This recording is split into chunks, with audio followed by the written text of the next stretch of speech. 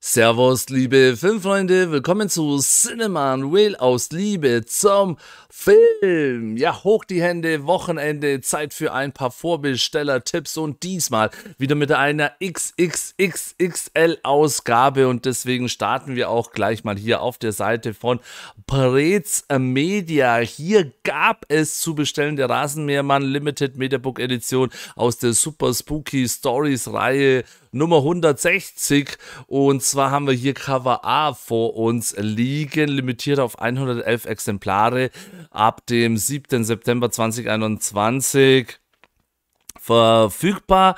Ob das Ganze jetzt nochmal reinkommt oder nicht, weiß ich nicht. Vielleicht könnt ihr noch was dazu sagen, wo es alternativ vielleicht auch was zu bestellen gibt. Hier auf jeden Fall aktuell nicht möglich. Nach einer Kurzgeschichte von Stephen King, unter anderem mit Pierce Brosnan. Die Geschichte fand ich damals okay, den Film war jetzt nicht wirklich so meins, den fand ich nicht super toll, aber der besitzt trotzdem Kultstatus und ja, die Spezialeffekte damals eigentlich und alles. Aber hat mir nicht wirklich getaugt, bin ich ganz ehrlich, obwohl ich ein riesen Stephen King-Fan bin. Aber es gibt ja auch bessere Verfilmungen und auch schlechtere Verfilmungen seiner Romane und seine Kurzgeschichten. Und da zur etwas schlechteren, trotz Pierce Brosnan, gehört für mich also nimmt es nicht persönlich, gehört für mich eben der Rasenmähermann. Es war jetzt nicht unbedingt der stärkste. Dann haben wir hier noch Cover-Variante B, auch ebenfalls limitiert auf 111 Exemplare und ebenfalls ab den 7. September. Dann machen wir weiter mit Mile 22, ein Action-Thriller mit Mark Wahlberg. Ich glaube, der ist erst vor zwei, drei Jahren oder so rausgekommen. Habe jetzt nicht mehr so ganz auf den Schirm herausgebracht von Hanse Sound in drei verschiedenen Cover-Varianten.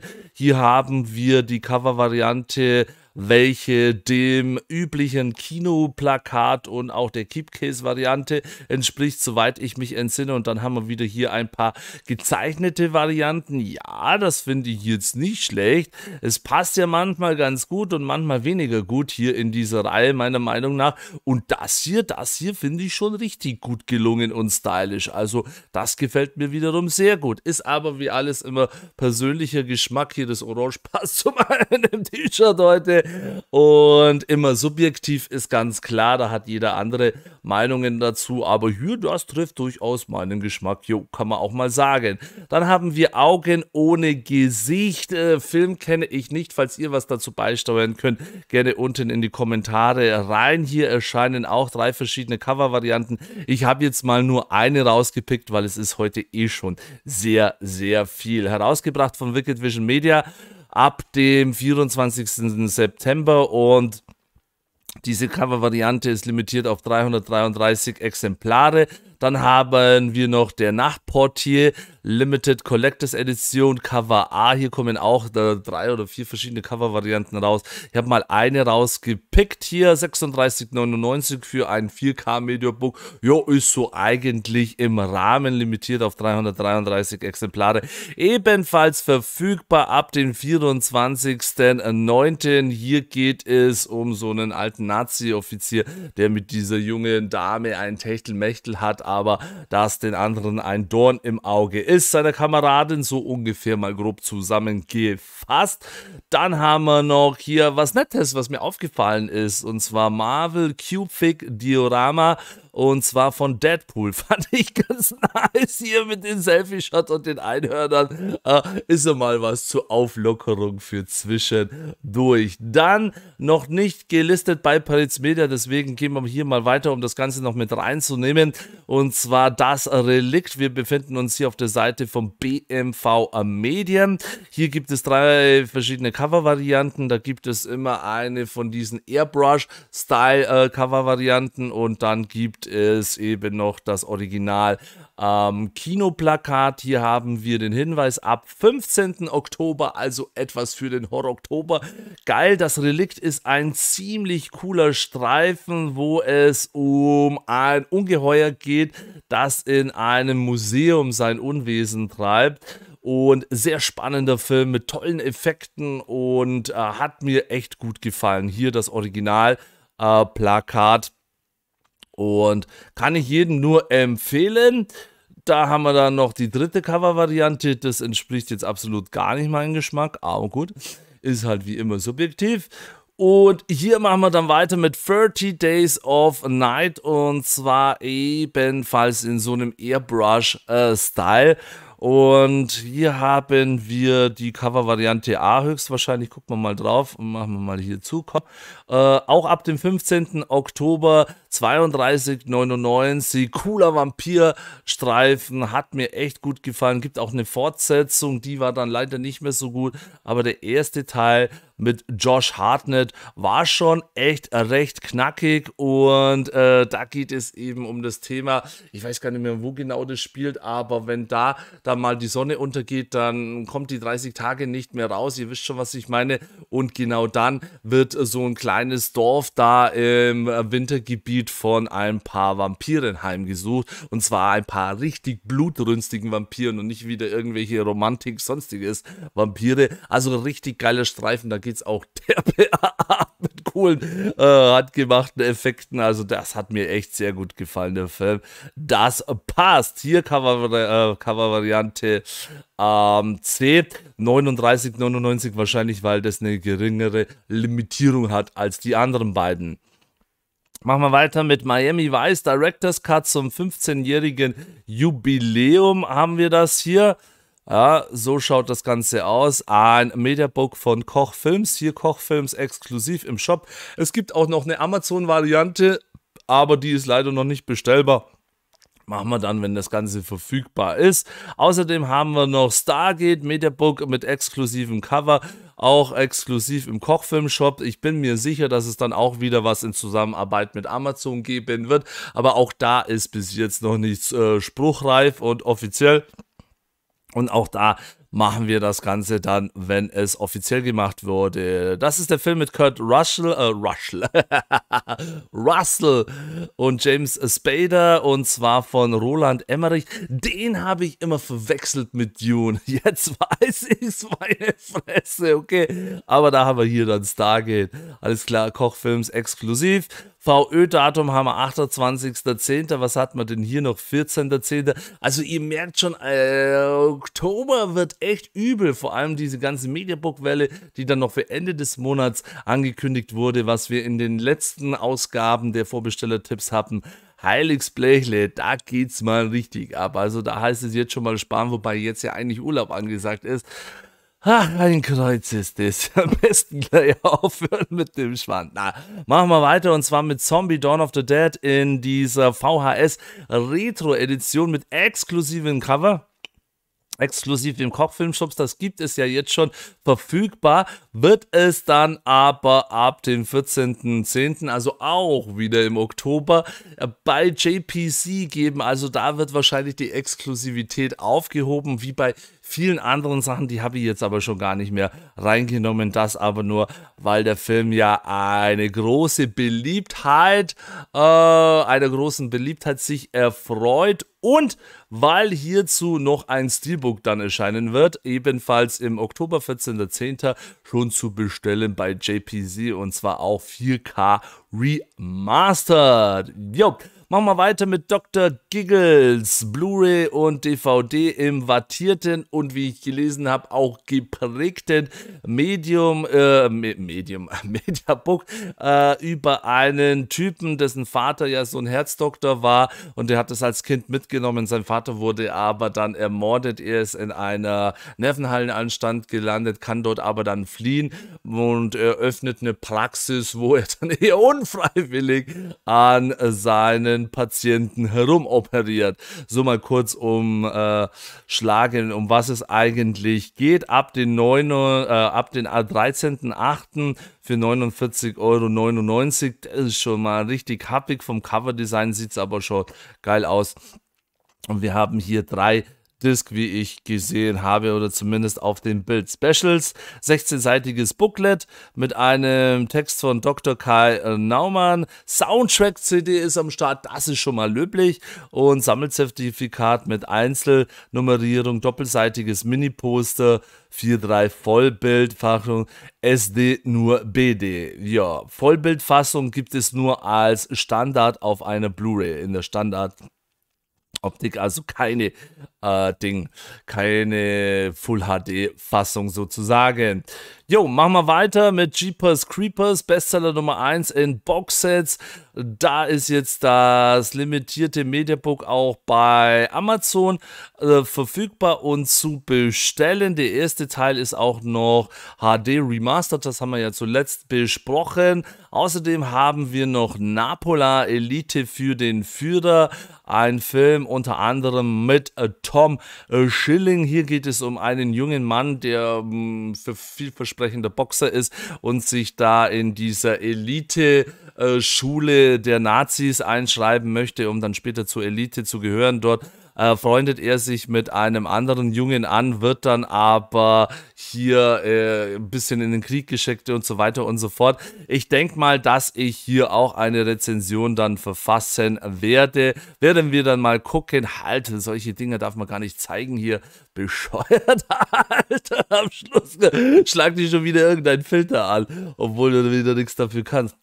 Böses Amazon. Solche Bilder hauen sie dann wieder rein, aber wehe, ein Nippel ist zu sehen. Mach mal weiter mit Clockwork Orange. Da habe ich euch ja schon die Titans of Cult ähm, Edition vorgestellt. Die kommt ebenfalls im Oktober. Und zwar mit, äh, wo ist denn das Steelbook? Ja, das Steelbook sieht man hier unten drunter. Ja, und dazu wird es aber noch ein Steelbook geben, ebenfalls in einer 4K-Variante hier zu bestellen auf Amazon. Ja, so wird das Ganze dann hier ausschauen. Ich befürchte, dass die Druckqualität auch schon ungefähr diesem Vorschaubild entsprechen wird. Also weiß ich nicht, ob man das unbedingt so braucht. Hätte man auch schicker machen können meiner Meinung nach. Machen wir weiter mit dem Film Old, ja, der neueste Streifen von, oh, jetzt muss ich wieder ablesen, M. Night Shyamalan. Shamalama Ding Dong. den verhunzt ich immer, aber ihr wisst schon, was ich meine. Den Regisseur von äh, The Sixth Cent und auch Glass und was weiß ich nicht alles hat jetzt einen neuesten Streifen drauf über eine Insel, auf der ein paar Leute äh, sich befinden und feststellen, dass sie ultra brutal schnell altern und dann am Ende des Tages ihr Tod bevorsteht. Sie können da nur entkommen, indem sie ein Rätsel lösen. Wie soll es denn auch anders sein? In Deutschland wurde noch kein Steelbook angekündigt, aber zumindest schon mal in England. Vielleicht haben wir ja Glück für alle Special Collectors, Sammler und das Ganze schwappt auch zu uns rüber. Jo, ab dem 31. Dezember, ich denke mal, das ist ein Platzhalter. Was haben wir hier stehen?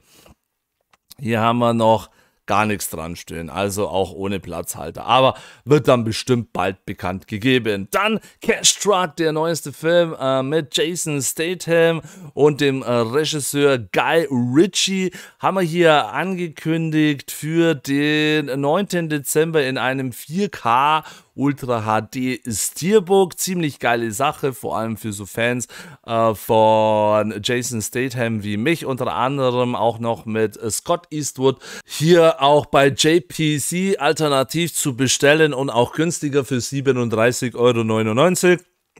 Und bei Amazon nochmal, damit ihr wisst, worum es geht, die 4K Ultra HD Edition hier dann eben noch das Cover mit den blutverschmierten Knöcheln. Jo, also, dann machen wir weiter mit Tremor 7 Movie Collection. Alle sieben Teile in einer Edition. Auch keine schlechte Geschichte. Ab dem 30. Dezember für 59,99 ist eigentlich jetzt schon ganz okay. Zum Start der Preis dann haben wir noch, ja, Anti-Alive. Boah, wieder was Neues mit Bruce Willis, wieder was Neues aus dem Bereich Science Fiction, unter anderem auch noch mit Thomas Jane.